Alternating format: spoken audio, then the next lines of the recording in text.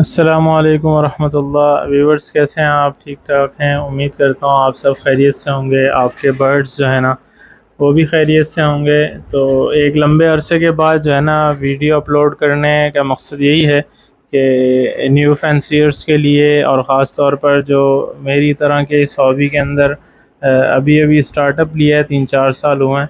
तो इस हॉबी के अंदर इंसान जो है ना, सीखता है ना हर किसी से। तो जैसा कि आप देखा वीडियो के स्टार्ट में ही जो है ना इलेक्ट्रिक जो एयर कूलर है, वो रखा हुआ है फ़ैन रखा हुआ, फिर विंडोज़ वगैरह आपने देखी होंगी। तो देखें, हमें बर्ड्स को जो है ना अच्छा इन्वायरमेंट प्रोवाइड करना, उनकी खिदमत करना, और उनके लिए जो है ना, अच्छी से अच्छी गज़ा का जो है ना, बंदोबस्त करना, और बीमारी के अंदर उनकी दवाइयों का, उनके इलाज मालजे का ख्याल रखना, ये हम सब की ज़िम्मेदारी है। क्योंकि ये हैं बेज़ुबान जानवर। तो इनकी हर तरह से ख्याल रखना हम सब की ज़िम्मेदारी है। तो गर्मियों के अंदर जी इनमें बहुत सारे मसाइल आते हैं ठीक है? तो उन मसाइल के हल के लिए और इनको उन चीज़ों से बचाने के लिए उन बीमारियों से बचाने के लिए ए, मैंने ये छोटी सी वीडियो बनाई है। तो इस वीडियो के अंदर जो है ना हम सबसे पहले बात करेंगे इलेक्ट्रोलाइट्स की।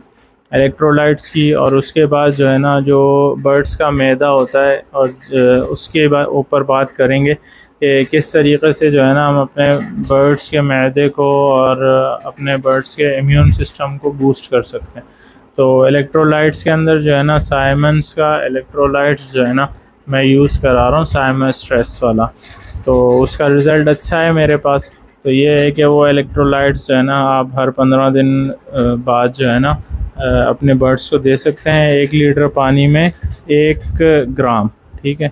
और इसके साथ साथ जो है ना जे जेटी पार और लाइजोविट का जो सीरप है, वो सीरप आप मिक्स करके मतलब जे जेटी पार की जो मकदार है वो एक लीटर पानी में एक एमएल है और लाइजोविट की मकदार जो है ना, वो एक लीटर पानी में दो एमएल है।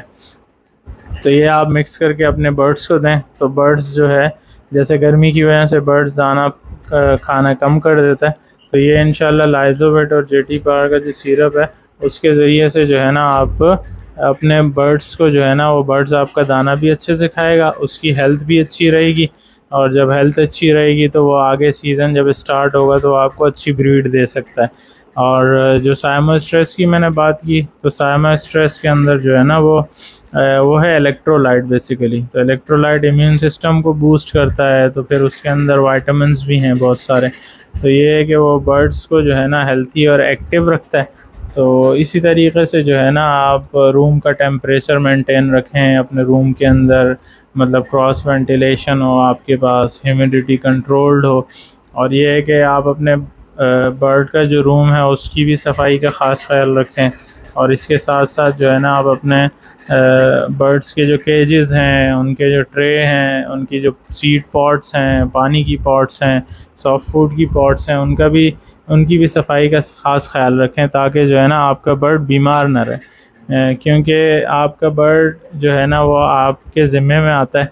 अगर उसके साथ आप किसी भी किस्म की नाइंसाफ़ी करेंगे, किसी भी किस्म का ख्याल रखने में कोताही करेंगे तो अल्लाह ताला इसका जो है ना आपसे पूछेंगे। तो ये है कि आप सबसे गुजारिश है कि आप सब जो है ना हमारे चैनल्स को चैनल को सब्सक्राइब करें और ये जो हमारी वीडियो है, इसको बहुत ज़्यादा लाइक करें। और ये है कि इन मुस्तबिल में जो है ना इंफॉर्मेटिव वीडियोस लेकर जो है ना हाज़िर हूँ और ये कमेंट में आप हमें सजेशन वगैरह दे सकते हैं कि किस किस्म की वीडियोस बनाई जाएँ। ठीक है? तो हमारे चैनल को बहुत ज़्यादा सब्सक्राइब करें और वीडियो को लाइक करें।